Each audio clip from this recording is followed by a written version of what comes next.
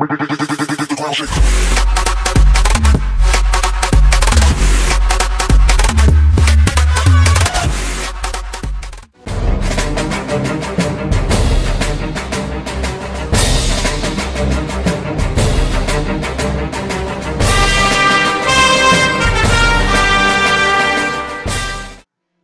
दोस्तों, स्वागत है आपका हमारे YouTube चैनल इंडिया जॉब में।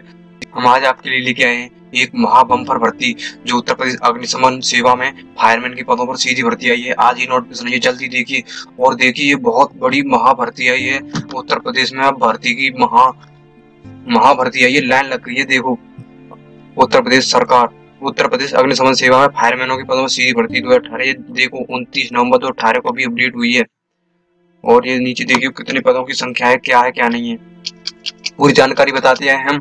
लगे रहिए वीडियो को पूरी देखिए हमारी को और लाइक कर दीजिए, वीडियो को शेयर कर दीजिए हमारी को। उत्तर प्रदेश अग्निशमन सेवा।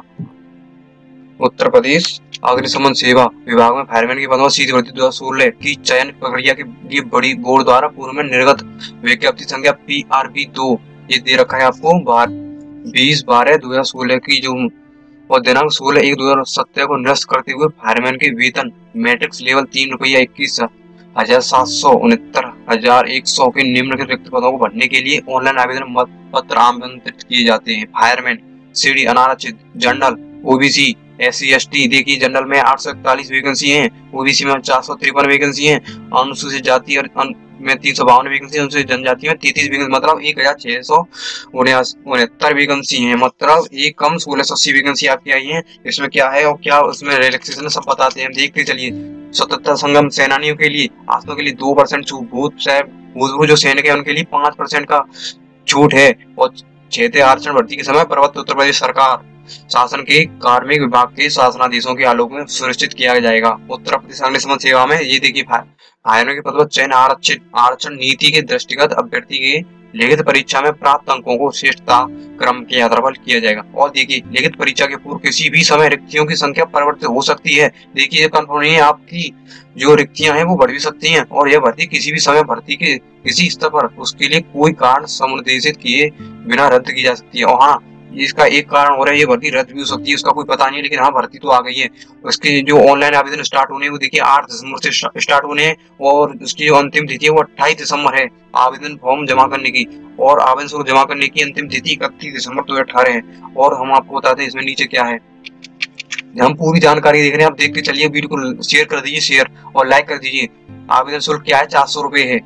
और ऑनलाइन क्या है? ऑनलाइन है, और ऑफलाइन भी है। Online debit card credit card internet bank और ऑफलाइन आप चालाना से जमा कर सकते हैं। आवेदन शुल्क में छूट क्या है? फाइनल के पदों पर ये भर्ती हो रही है। वो लाइक ये है दो सौ रुपए। इसके लिए जो मतलब पहली भर्ती जो भर चुके फॉर्म उनके लिए दो सौ रुपए। जो है उनके विज्ञापन पद में दो सौ रुपए अतिरिक्त आप के रूप में जमा करना होगा। और उसमें क्या अर्थ है क्या राष्ट्रीयता है क्या छुट्टी है भारत का नागरिक ये तो आप सब जानती है उसमें कुछ नहीं है और नीचे देखते हैं इसमें और क्या क्या नया आया है। हम्म हम्म आयु आयु अठारह वर्ष से बाईस वर्ष तक की होनी चाहिए आपके बाईस से ज़्यादा वर्ष की नहीं होनी चाहिए अठारह से बाईस वर्ष के बीच में होनी चाहिए आपकी मिनिमम अठारह वर्ष मैक्सिमम बाईस वर्ष और नीचे देखते हैं इसमें क्या है। हम्म, परंतु यह उत्तर प्रदेश अग्निशमन विभाग सीधी भर्ती है और अभ्यर्थियों को इस भर्ती में अधिकतम आयु सीमा में उस सीमा तक शिथिलता प्रदान की जाएगी उनकी अर्हता के लिए तत्समय अपेक्षित थी। और देखिए इसमें चरित्र क्या है। हम्म, ये ठीक है ठीक ठाक हो उसमें कुछ नहीं है वैवाहिक क्या है। नियुक्ति के लिए ऐसा पुरुष अभ्यर्थी पात्र होगा जिसकी एक से अधिक प्रतियाँ हो। मतलब इसमें मेरिट भी अप्लाई कर सकते हैं और शारीरिक सदा भर्ती की जो क्या है प्रक्रिया है। चयन प्रक्रिया प्रदेश अग्निशमन सेवा अधीन अधिकारी कर्मचारी सेवा नियमावली जो दो हज़ार सोलह यथा संशोधित प्रथम संशोधन दो अठारह के दिन की जाएगी। यह नियमावली बोर्ड की वेबसाइट पर उपलब्ध है। जो लिखित परीक्षा होगी इसकी, जो तीन सौ नंबर की होगी। ये ऐसी जो यूपी पुलिस कांस्टेबल की परीक्षा होती है, वैसे इसमें क्या सामान्य ज्ञान, सामान्य हिंदी संख्यात्मक मानसिक योग्यता, मानसिक अभिरुचि बुद्धिलिप्ति ये सब है इसमें। और देखते हैं क्या है, दस्तावेजों। और इसमें क्या है हाइट है एक सौ अड़सठ सेंटीमीटर है ऊंचाई, और सीना है सेवेंटी नाइन सेंटीमीटर पाँच सेंटीमीटर फैलाव चाहिए। और क्या है इसमें? योग्यता सूची। और इसमें क्या है? में छूट हाँ देखिए अनुसूचित जाति अनुसूचित जाति के लिए पाँच वर्ष की छूट है। अनुसूचित जनजाति के लिए पाँच वर्ष की और ओबीसी वालों के लिए भी पाँच वर्ष की छूट है। जाति प्रमाण पत्र, आपका ये क्या है? नीचे देखते हैं, ऊपर कोई नोटिफिकेशन तो नहीं है। अभी देखते हैं हम। वो पेज थोड़ा ऊपर चला गया है। अभी आपको बताते हैं। मतलब पाँच वर्ष का इसमें रिलैक्सेशन सबको मिला है। ओबीसी वालों को एस सी वालों को भी। ये आ गया, देखो। यहाँ पर हो गया। और स्वतंत्र संघ सेनानी को प्रतिशत दो प्रतिशत और भूतपूर्व सैनिक को तीन वर्ष की छूट है। और एक है भूतपूर्व की आयु सेना में की गई अवधि को उसकी वास्तविक आयु से घटाने पर निर्धारित आयु सीमा से तीन वर्ष से अधिक नहीं होनी चाहिए। और इसमें क्या है आयु में पाँच वर्ष की छूट प्रदान की जाएगी। और ये नीचे अट्ठाईस जनवरी दो हज़ार सोलह के अधिकतम आयु सीमा में ऐसे व्यक्तियों को जिन्हें विभिन्न श्रेणियों में आने के कारण आयु सीमा में छूट पा देता है। और टिप्पणी और नीचे देखते हैं हम इसमें क्या है। और हाँ ये देखिए। ये ज़रूरी है आपका अगर जाति प्रमाण मूल निवास के उस संबंध में है ये जानकारी ध्यान रखिए इसको। उत्तर प्रदेश लोक सेवा। हम्म, अधिनियम उन्नीस सौ चौरानवे की अनुसूची दो अनुसार कीमिलियर के अंदर आने वाले उत्तर प्रदेश के अन्य पिछड़े वर्ग के अभ्यर्थियों को आरक्षण का लाभ अनुमन्य नहीं है। अन्य पिछड़े वर्ग के लिए इस जा, जाति प्रमाण पत्र एक अप्रैल दो तथा उसके बाद का किंतु इस भर्ती हेतु निर्धारित आवेदन करने की अंतिम जीत निर्गत होना चाहिए। मतलब आपका एक अप्रैल दो हज़ार अठारह से लेके दिसंबर तक का होना चाहिए जा, जाति प्रमाण पत्र और मूल और मूल निवास के बारे में मूल निवास की इसमें दिया नहीं गया है कुछ भी। लेकिन जाति प्रमाण बनवा लीजिएगा आप। और अनुसूचित जाति के लिए जाति प्रमाण पत्र एक अप्रैल दो हज़ार अठारह या उसके बाद किंतु इस भर्ती के लिए आवेदन की अंतिम तिथि तक का होना चाहिए। मतलब एक अप्रैल दो हज़ार अठारह से लेके दिसंबर तक का आपका जाति प्रमाण पत्र होना चाहिए। और आरक्षण में छूट, ये सब वही है। ये पीडीएफ हमने नीचे डिस्क्रिप्शन में दे रखी है, हमने अटैच कर दी है। वहाँ से आप डायरेक्ट जा सकते हैं। आपको कहीं जाने की ज़रूरत नहीं है। स्वतंत्र संग्राम सेनानी की आश्रित, भूतपूर्व सैनिक, और हम बताते हैं क्या है। अभ्यर्थियों के लिए महत्वपूर्ण ऑनलाइन आवेदन करते समय अभ्यर्थी के पास या लागू निम्नलिखित अभिलेख होने आवश्यक होनी चाहिए।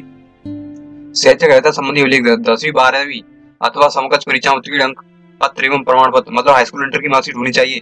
हम्म यदि कोई हो तो डोएक का यार कोई ट्रिपल सी का आपके पास सर्टिफिकेट हो एनसीसी हो, जो कुछ भी हो, वो सब लगा दीजिएगा। और आरक्षण अधिकतम आयु छूट लेने के लिए आपके पास मूल निवास प्रमाण पत्र होना चाहिए, जाति प्रमाण पत्र होना चाहिए। ध्यान रखिएगा आप। और आपके पास अगर आप एक सर्विस में डिस्चार्ज है तो आपका उसका लेटर भी होना चाहिए। और ये क्या है? फॉर्म की स्कैन करनी है अपलोड करनी है तो नवीनतम और रंगीन फ़ोटो हस्ताक्षर रंगीन फ़ोटो आकार दे रखा है और साइज़ भी दे रखा है। ये देख लीजिएगा पीडीएफ में हम, हमने नीचे अटैच कर दी है। और ऑनलाइन आवेदन की जो प्रक्रिया है, वो क्या है? ये उस वेबसाइट पर जाकर ऑल नोटिफिकेशन एडवर्टाइजमेंट को क्लिक करना होगा। उसके बाद फायरमैन कैंडिडेट रजिस्ट्रेशन को क्लिक करके आगे प्रक्रियाओं को पूरा करना पड़ेगा। आवेदन पत्र को प्रारूप को भरे जाने की वेबसाइट दिए गए विस्तृत निर्देशों की मिली बात समझ लें। तदनुसार आवेदन करें। इसके बाद आपका शुल्क कटेगा, चार सौ रुपए, ध्यान रखना। दो विकल्प में आपको, ऑनलाइन ऑफलाइन, कुछ भी कर सकते हो। फोटोग्राफर हस्ताक्षर वो भी बता चुका हूँ उसमें क्या चेहरे की छवि स्पष्ट होनी चाहिए, चेहरे पर अत्यधिक चमक, छाया नहीं होनी चाहिए। नामांकन के लिए छह महीने के भीतर का फ़ोटो होना चाहिए। ये ध्यान रखना, छह महीने से ज़्यादा पुराना फ़ोटो नहीं हो। फ़ोटो आपका होना नहीं चाहिए। और क्या आवेदन की प्रक्रिया के अन्य अंतिम बिंदु? अभ्यर्थी द्वारा केवल एक ही आवेदन पत्र भरा जाए, एक से अधिक आवेदन पत्र भरने वाले अभ्यर्थियों को आवेदन पत्र बोर्ड द्वारा स्वीकृत कीजिए। हाँ एक ही बार आपको आवेदन करना है एक से ज़्यादा बार आप आवेदन करोगे तो आपका रजिस्ट्रेशन कैंसिल हो जाएगा। ये बोर्ड बोल रहा है। और इसमें नीचे देखते हैं, बोर्ड का नेट अंतिम होगा। और कुछ नहीं है, आपकी नोटिफिकेशन आ जाएगी वीडियो को सब्सक्राइब हमारे चैनल को सब्सक्राइब कीजिए वीडियो को लाइक कर दीजिए ज़्यादा शेयर कर दीजिए, ताकि सबको पता चले कि फायरमैन में वैकेंसी आ चुकी है। धन्यवाद दोस्तों, जय हिंद, जय भारत, वंदे मातरम।